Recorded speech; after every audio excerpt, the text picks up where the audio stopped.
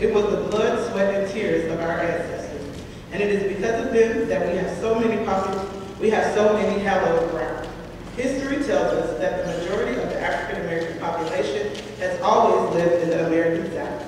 But there are many hallowed grounds all over this country.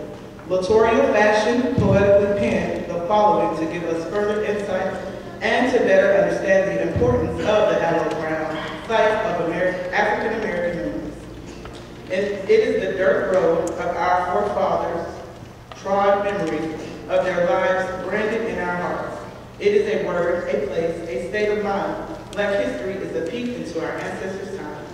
It is a piece of fabric our grandmothers wore, an old rope that our grandfathers lived to the It is a slave ship and middle passage overseas.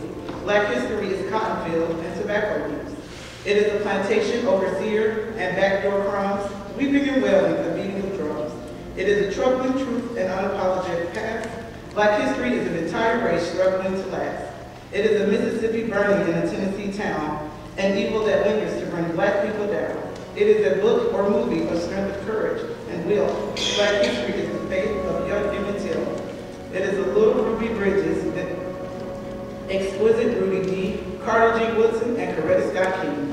A Mahalia Jackson song, a Michael Jackson routine. Black history is the phrase. It is Cheyney University, the Tuskegee Airmen, the NAACP, the Black Holocaust Museum. It is a Navy master driver named Carl Brashear. Black history is our legacy of triumph without fear. It is General Colin Powell of vaudeville drama, Zora Neale Hurston, and President Barack Obama. It is every single experience of our history. Black history is the story of you and me. Yes, Wheat Street, the people, the moment, the triumphs, and the tragedies of black history in America are an integral part of the history of the United States, and reviewing the past helps to paint a clear picture of how momentous for hallowed grounds are. Southern plantation, churches, segregated schools, historically black colleges and universities, cemeteries, and final resting places of our forebears. Hallowed grounds. Thank you.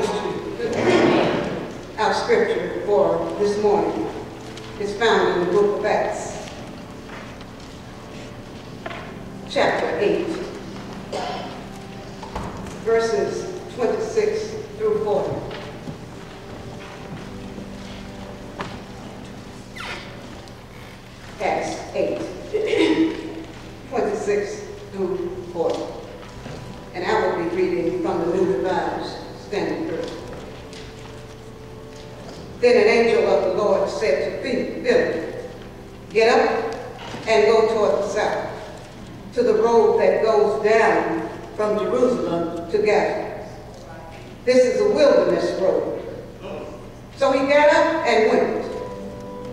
Now there was an Ethiopian eunuch, a court official of the Candace, queens of the Ethiopians, in charge of her entire treasury. He had come to Jerusalem to worship and was returning home, seated in his chariot. He was reading the prophet Isaiah. Then the Spirit said to Philip, go over to this chariot and join it. So Philip ran up to it and heard him reading the prophet Isaiah.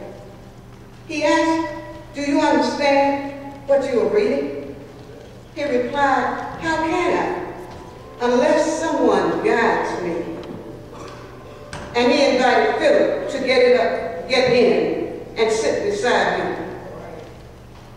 Now the passage of scripture that he was reading was this. Like a sheep, he was led to the slaughter. And like a lamb silent before its shearer. So he does not open his mouth. In his humiliation, justice was denied him. Who can describe his generation? For his life is taken away from the earth.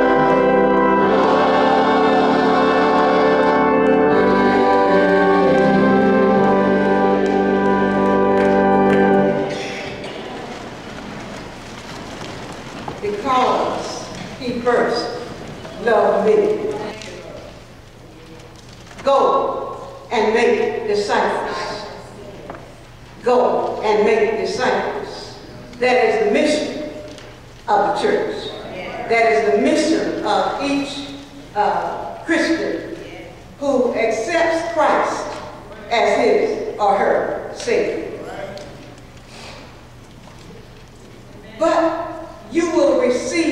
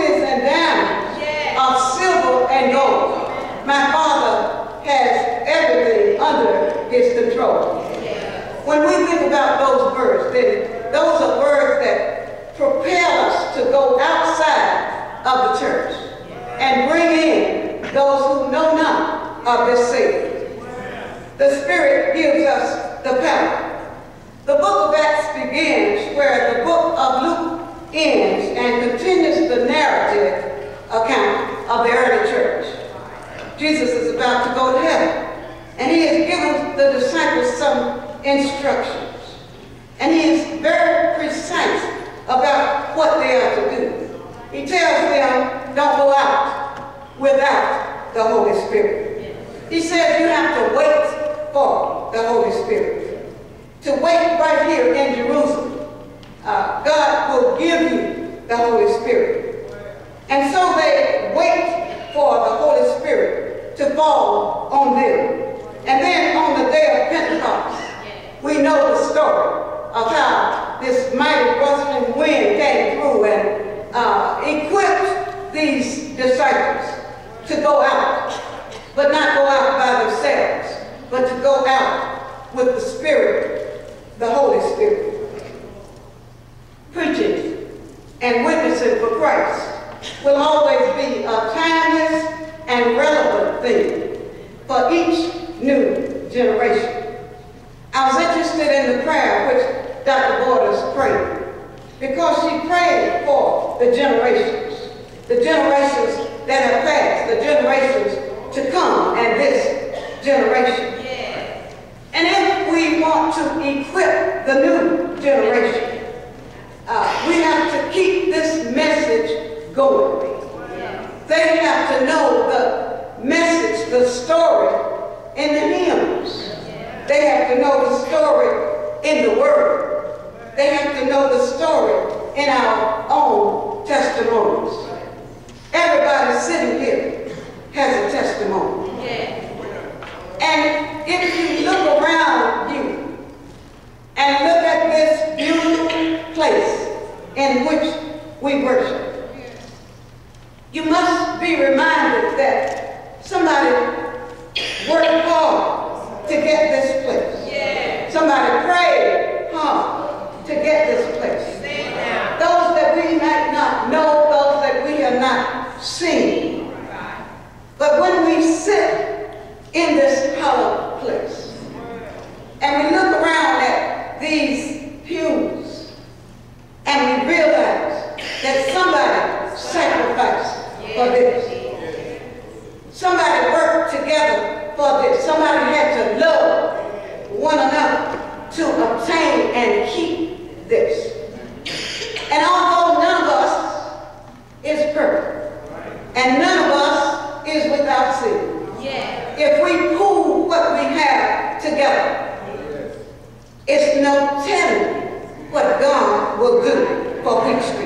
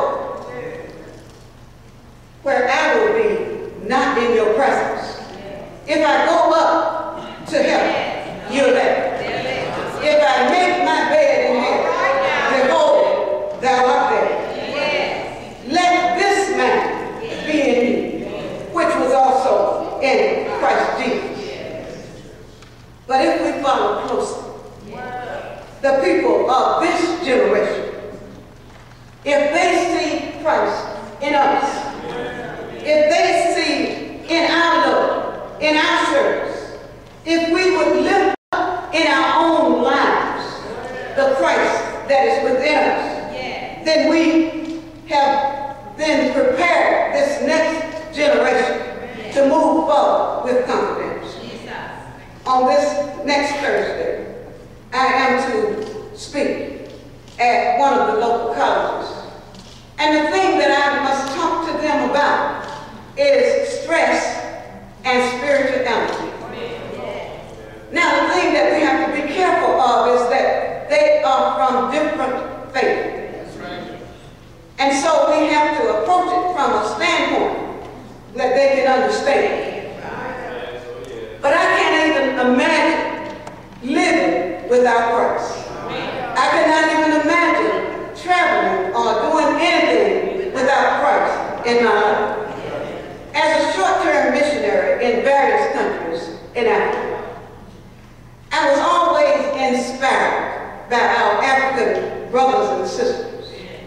I was inspired by the moving of the Holy Spirit among our brothers and sisters as they worshiped, as they sang, as they danced, and as they sang this song. And I woke up this morning with this song on my mind. And I said, I don't remember all of the words, but the, the words started coming, and then I called my daughter, and of course, she got on the internet and found the rest of the words. But praise God for that. But the song was so inspiring, and they sang it with such joy. There's no one, there's no one like Jesus. There's no one, there's no one like him. And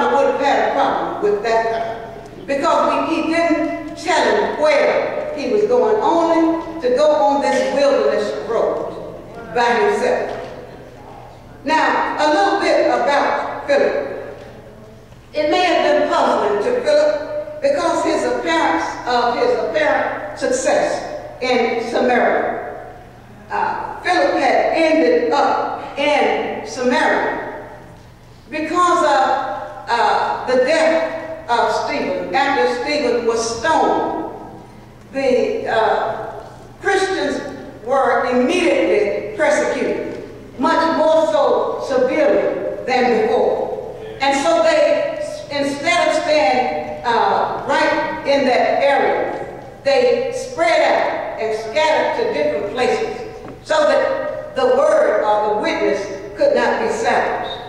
And at this time, Philip, who was a layperson, who later became an evangelist, one of seven set upon to take care of the deacon duties, to give aid to the poor. He was a Greek-speaking Jew, and he had left uh, Jerusalem and moved into Samaria. While Samaria while in Samaria, Philip began preaching, and his preaching was so powerful that the crowds came and they waited for him to heal them. At the same time, there was someone there who was a sorcerer named Simon. And Simon was a trickster, a magician, if you please. But in Simon's own eyes, he was much bigger than that. And so he had told the people uh, tales about how outstanding he was and where he was and the things that he could do. And he could do things that nobody else could do. And so he was so popular that the people began to think that he was the Messiah. But Philip had committed himself to God because the Spirit of the Lord was upon him. he had experienced overwhelming success. But according to Acts 8, verse 5, his camp meetings were crowded with people, always eager to hear the word of God. That was something that the magician couldn't give them. Earlier, they had been dazzled by this person. But when Philip came on the scene, they forgot about this sorcerer. And the sorcerer wanted something of what they were getting because he saw lives changing. And so the people waited for their miracle uh, day after day, and they witnessed the healing of the crippled uh, persons and the lame. They witnessed evil spirits being moved. They witnessed sight being restored to the blind. The whole city was excited about the work that was being done by Philip in Samaria. And the word spread, and it got back to Jerusalem. And so while the news, when the news reached Jerusalem, uh, the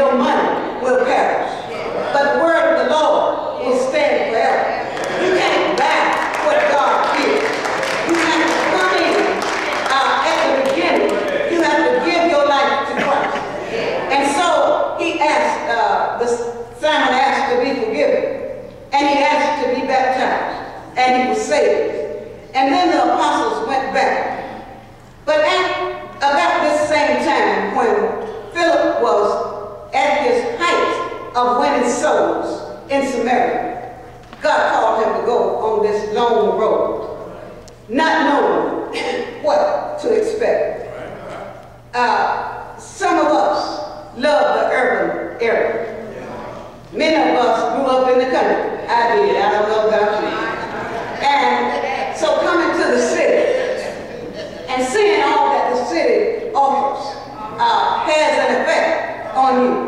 And to think about leaving it and going back to the country to work, it might take us a minute or two to think about it. But at any rate, uh, to pick up without notice and to just go. I hear some people say that it takes me so long to uh, pack a suitcase or to uh, get my things together to move from one place to the other. But Philip didn't have a choice. He needed to obey the word of God. And so sometimes we are faced with decisions that must be made. And when we uh, in tune and when we are in communion with God, uh, we sometimes want to reason with God why this is not a good time. This is when I'm at my peak. If I stay three months longer, I may get uh, another position. Uh, if you can wait maybe six months, then, you know, and then I'll, I'll perhaps be able to already have moved into this next uh, part on my job. And when I leave, I'll leave with more money. Sometimes people reason in that manner. But when the Holy Spirit guides him, he went forward to do what God had for him. I don't know what he thought he would find in the wilderness. I just know that he knew that if he were in the wilderness, God would be walking right along by his side. And sometimes people will ask you, uh, why do you want to do this? Why do you want to go there? Who will be there to meet you? Who do you know there? Uh, but the answer is, regardless of where we go, God is always present. And we are never without the presence of God. Uh, Moses was called at the burning bush. He didn't want to do it, but he ended up doing it. Abraham was called to get up and leave everything and go to a strange land. Jonah ran in the opposite direction, but God turned around and brought him where he needed him to serve. Esther tried to hide in the back. But Mordecai told her, this is your time. And if you don't use it now, what's going to happen to your people? And that's a good question for us. As we look around to see all of the things that are happening in our communities and in our world, and as we look at the political situation uh, in our country, and as we see the kinds of uh, eligibilities that are being taken away from those in need. Uh, what is it that we can do as a people to reclaim our neighborhood, to reclaim our rights, to walk closer with God? It is essential that we understand where and how we go in life. It's not determined by us. It's determined by God. Philip received instructions from the angel. And the one thing that he did was that he was obedient. He responded to God, not knowing, but he went forth anyway. This may seem to be a meeting by accident with the Ethiopian eunuch and Philip, but it was part of God's providential plan. How many times in your life have you had a chance meeting with individuals who uh, just happened to come into your life at the right time and who could, uh, and without an explanation, but who could make things better for your life right now, right here. Sometimes right in the church. You might meet someone who can answer a need that you have. But God stepped in and took care of each one of our situations. You had to pray about it, and pray about it, and pray about it. Uh, one thing I can tell you about committee is that we've been doing a lot of praying, and we've been doing a lot of fasting, and we've been doing a lot of meetings, and, but we've been going back to God every single time and holding hands. So we want the church to come along beside us and do the same thing for the church and for the process. We praise God for those who give their lives in service, not just on a committee, but in our choirs, in our uh, on our boards and our ushers and all of these people I see who come all the time, action mission and all of these things, giving time, unpaid time, but sacrificing for the growth of Wheat Street Baptist Church. We want to move forward. Someone may ask the question, how do I know that what I'm doing is God's will?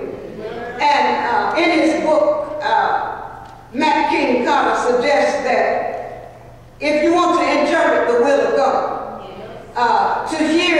what God is saying, to be in line with God's divine will, to hear God's word. We have to meditate on his word, to strengthen our personal relationship through constant prayer, through meditation, through fasting. This is how we position ourselves to be open to the will of God. In his book, Experiencing God, Henry Blackaby also insists that God speaks to us by the Holy Spirit through the Bible, through prayer, through our circumstances and the church. He reveals his nature, his ways, his purposes, his directions. Philip had a mandate from the Lord. Arise and go. And Philip moved out in faith in order to discover what God's will was for him. And the interesting thing is that Philip was walking on the road, and as he got near the chariot where the eunuch was sitting, and this was not an ordinary, just an ordinary person, uh, African. This was one who was the head of the treasurer in Ethiopia. So he had his own uh, chariot, and he was sitting there reading. And at a time, uh, at one time, Ethiopia was the whole uh, region in that area. But this particular person was on his way back to, uh, on his way from Jerusalem back to Ethiopia.